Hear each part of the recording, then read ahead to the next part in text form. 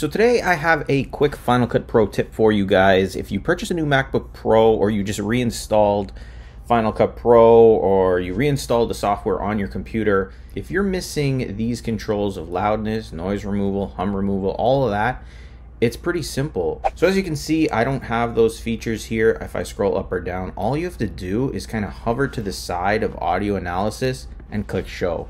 Everything comes back just like that. It's pretty odd that Apple hid it like that without a little drop down arrow to make it easy for us to find.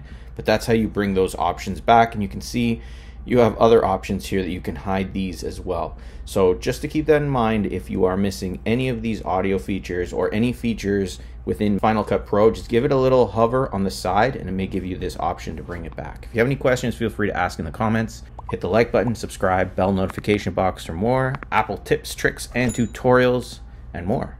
Thanks for watching. I'll see you in the next one.